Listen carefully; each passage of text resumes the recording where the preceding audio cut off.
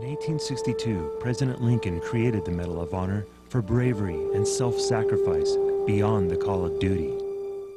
From the Civil War to Somalia, these are stories of character and determination, not of war, but of people who rose to meet the challenge of victory. What prepared them for these life and death decisions? What effects did the Medal of Honor have on their lives? Join Burt Reynolds as we salute heroes distinguished for their acts of valor. America.